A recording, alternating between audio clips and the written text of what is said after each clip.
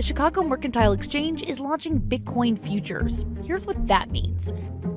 As long as regulators give it the go ahead, Bitcoin will soon have an official futures contract, and it will live on the largest futures exchange in the world.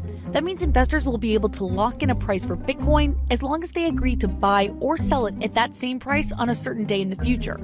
For the average investor, that means less price volatility, something Bitcoin has become notorious for. But it may be an even bigger deal for institutional investors. As of now, they're not able to directly invest in cryptocurrencies.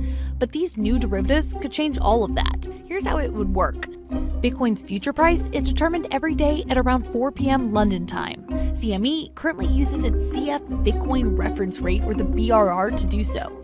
The BRR is a weighted index of prices from four cryptocurrency exchanges Bitstamp, GDAX, Itbit, and Kraken.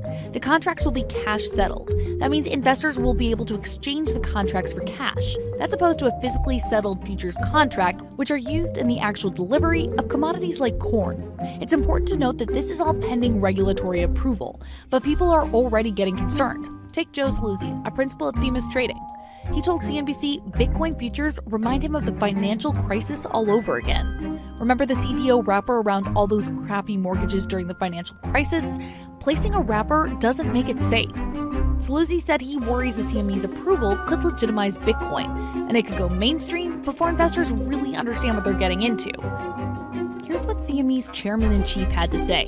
People are looking for more efficient ways to do commerce. And, you know, whether this is the right way or not, I'm not quite sure. But I do know one thing for sure is we are going to list the product under our rules.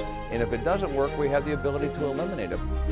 Despite the backlash from some on Wall Street, Bitcoin's price surged to a new record high following the news.